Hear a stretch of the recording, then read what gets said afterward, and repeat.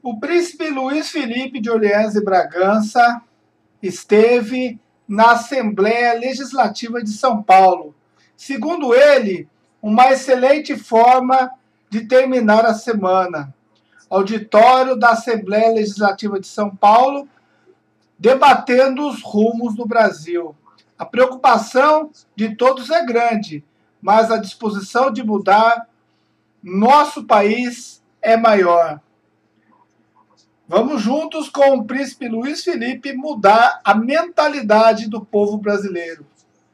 Vamos acabar com essa ideia socialista e fazer com que o povo olhe a nação como uma verdadeira família.